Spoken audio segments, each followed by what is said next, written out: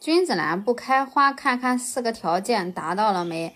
做好了，年年开花。君子兰呢是非常常见的盆栽花卉植物，它呢观赏价值也极高。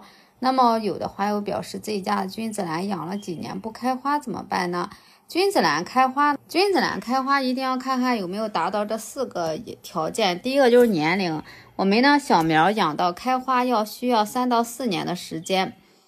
嗯，叶片呢要长到这个十二片叶子以上呀，它才能够达到开花的年龄。第二个就是光照了，我们呢必须把它放到一个家里光照充足的位置，嗯，这样呢它才能够开花，不然的话很难长出花苞的，缺光就会就不会分化花芽。第三个就是施肥，施肥的话我们可以选择这个一喷开，直接呢去给它。这个喷洒就可以。如果说是长出花苞了，就直接用这个一喷开即可，